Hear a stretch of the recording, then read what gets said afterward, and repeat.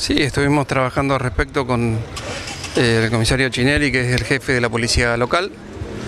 Eh, inmediatamente que eh, bueno, sucedido el hecho de la denuncia y se lo aprende al personal policial y se inicia la baja directamente.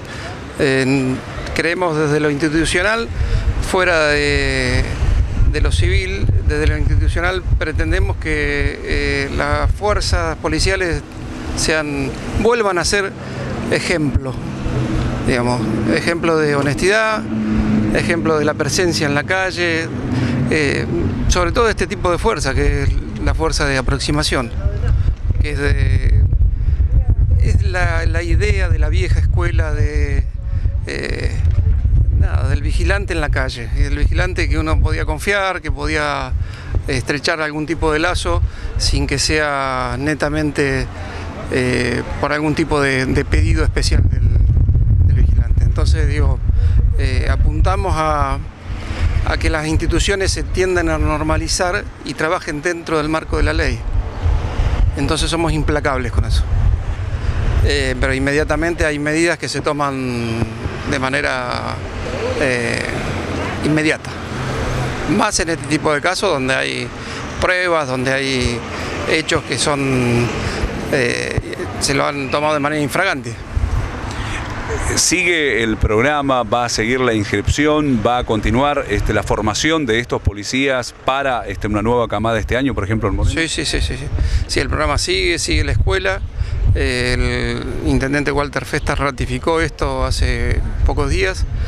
Eh, vamos a volver a tener una camada de policía local eh, y vamos a apuntalar, como siempre, un poquitito más el tema de instrucción.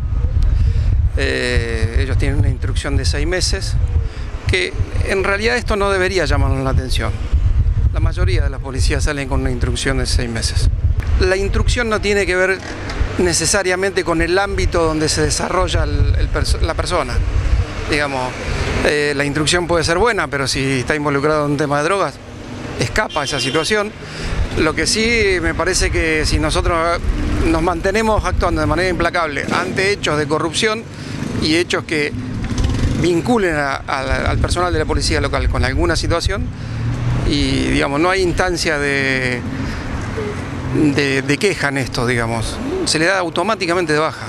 Vamos a ser implacable con eso. En el caso de González está dado de baja. Sí, sí, sí, sí, sí, sí, está librado, eh, está dado de baja en la fuerza y tiene una causa penal por la denuncia. Eh, se están dando cambios, se continúan dando cambios y la verdad que lo que estamos tratando de hacer, eh, primero en lo que es el ámbito policial, tratando de... las fuerzas no se pueden unificar, pero sí pueden trabajar de manera conjunta, en colaboración.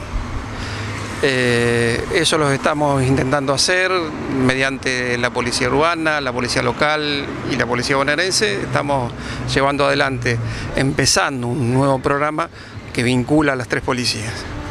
Eh, la verdad que el desafío es bastante grande, pero no, no le tenemos miedo a los desafíos. Eh, elementos humanos en algunas de las policías estamos incorporando, eh, estamos incorporando en la policía urbana sobre todo, donde queremos ampliar las fuerzas eh, en aproximadamente entre 30 y 40 efectivos más. tenemos una buena cantidad de, policía local, pero necesitamos más, Moreno necesita más policía local, que la policía de aproximación y sin duda duda tenemos, digamos, hemos puesto un hincapié en, el ámbito de la seguridad. Eh, estamos desarrollando un programa bastante eh, seductores para, para que la gente se sienta más segura en Moreno. Estamos trabajando sobre controles de tránsito, controles de alcoholemia. Estamos, estamos llevando muchos operativos y, la verdad que empezamos a notar que esto va cambiando un poco la filosofía de que Moreno es tierra liberada.